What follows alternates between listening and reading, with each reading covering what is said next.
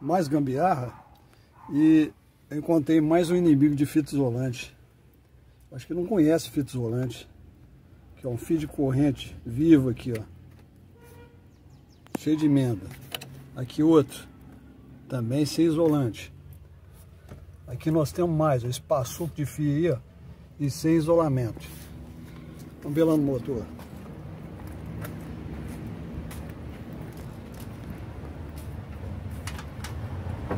Bom, até falei que não, não conhece fita isolante, mas conhece, mas fita isolante é usada para outra coisa. É para amarrar aqui, ó. Amarrar esse plug aqui na bobina.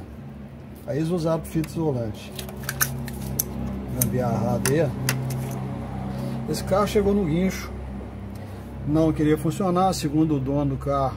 O carro não parou de funcionar. Esse o eletricista mexeu aqui, trocou uma peça aqui dentro. E o carro não voltou a funcionar. Então aqui, ó, tudo forçado aqui, ó, toda essa fiação aqui. Aí eu tirei a tampa para ver aqui o que está acontecendo.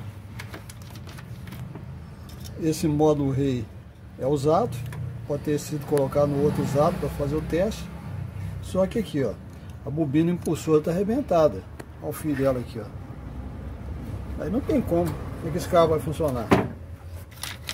Um fio ainda está aqui, o outro sumiu. Vamos tirar esse distribuidor aí, trocar essa bobina impulsora e fazer os testes para ver o que está acontecendo mais, né?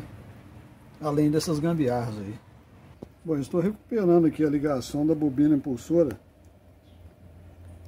Ela rompeu a ligação ali, estou recuperando. Ao invés de trocar, como ela está boa ainda, estou tentando recuperá-la aqui. Bom, recuperei a bobina aqui, as ligações da bobina. Tudo no lugar certinho. Tá ligado no, no, no módulo. módulo rei, né? Agora precisamos testar aqui. Eu já conectei os plugs. E nós temos que fazer uma ligação negativa aqui, porque tem que aterrar, senão ele não funciona. Vou fazer o aterramento aqui e volto a mostrar. Bom, eu liguei o, o cabo aqui, ó. Negativo da bateria e na carcaça. E vou girar aqui agora. Se eu girar aqui, tem que dar uma centelha lá. Ó. Então funcionou. Agora é montar no lugar e fazer os outros testes para ver. Bom, distribuidor montado no lugar. Eu vou fazer o teste agora, ver se o carro vai funcionar. Depois eu termino as, as conexões aqui. Troco o que for necessário.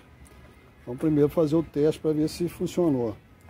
Se eu não vou ter que substituir nada do distribuidor chave ligada, da partida.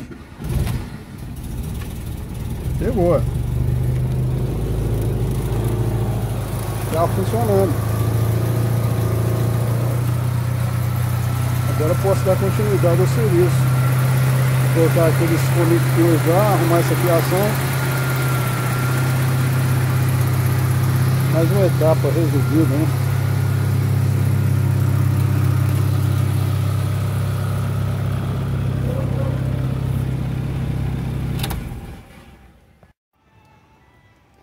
Mais um serviço terminado, as gambiarras eliminadas.